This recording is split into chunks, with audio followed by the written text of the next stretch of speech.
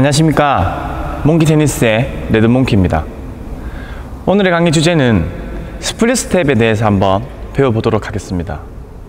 우선 split step이란 어떤 동작으로 해야 하는지 영상으로 먼저 보시죠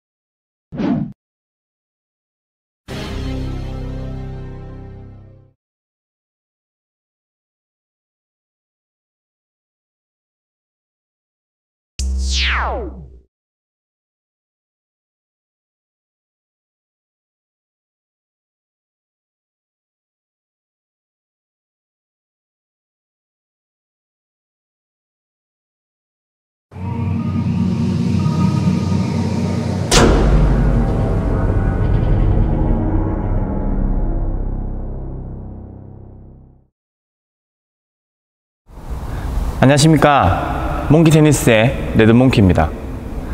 오늘의 강의 주제는 split step에 대해서 한번 배워보도록 하겠습니다. 우선 split step이란 어떤 동작으로 해야 하는지 영상으로 먼저 보시죠